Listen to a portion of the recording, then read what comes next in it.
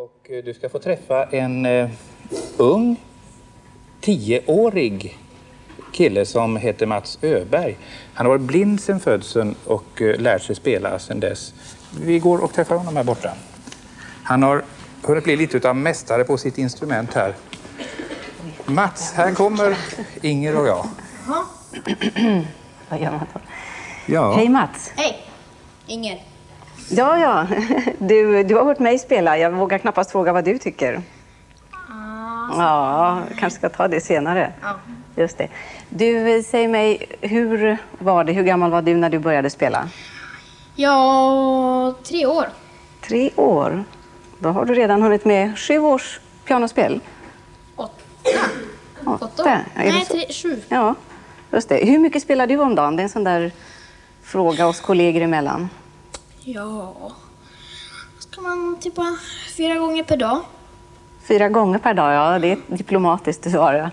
Eh, Du, hur lär du dig? Du, lär dig? du har berättat att du lyssnar på skivor.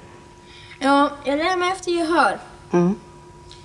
Ja, det menas alltså att man lyssnar på en skiva eller kassett eller radio eller något sånt där. Och så sen då, då får jag som den, den låten i hjärnan. Och sen fastnar det. Och så kan jag spela det. Vilka favoriter har du då? Frank Zappa och Stevie Wonder. Ja. Och när du då spelar, improviserar du mycket själv eller hur kommer det fram? Ja, det gör jag. Mest. Ja. För jag har lyssnat när du har övat och du har en väldigt personlig spelstil. Vad- Tycker du det? Ja, det tycker jag. Du, vad kommer du att spela nu? Ja, nu kommer jag att spela en låt skriven av Frank Zappa som heter King Kong. Ja. Och hur mycket är Frank Zappa och hur mycket är du själv i den? Ja, hälften är Zappa och hälften är jag. Jaha. det är jättebra. Tack. Ja.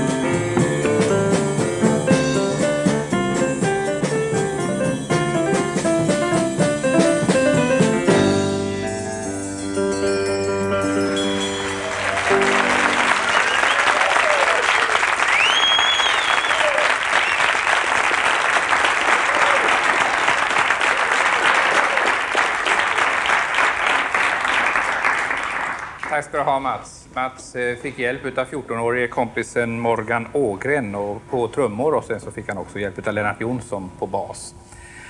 Ja, välkomna alla ni 100 gymnasister här. Eh,